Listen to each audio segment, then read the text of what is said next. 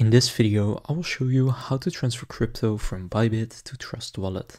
To do this, first just go and open up Bybit and then click Assets in the bottom right. From within your assets, go to the account that you want to withdraw from. For me, it's in my funding account. Then here just select a cryptocurrency you want to transfer over to Trust Wallet. I'll use Solana. So then once you have the cryptocurrency and you own some of it, then you can go and click withdraw in the bottom and then here you need to put in address and network. To find this, just open up Trust Wallet. And then on Trust Wallet, you want to go and click on Receive. Then here select the same cryptocurrency that you picked on Bybit. So for me it's Solana and then you can see right here it's Sol on the Solana network, which means I need to use the Solana network on Bybit too. From here just go and click copy and go back to Bybit. Then on Bybit first paste in the address and then in this case, for the network, again, I need to pick Solana, which in this case is also the only one available.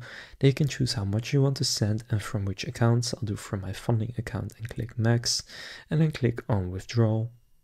Now there is a minimum withdrawal limit and right now I don't have enough in my account so the minimum for Solana is 0.1 and I have 0.08 but after you choose how much you want to do you can then click withdrawal then you need to verify that it's you.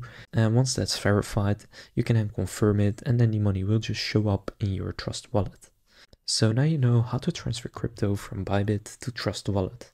If this video was helpful, please consider leaving a like and subscribing to my channel.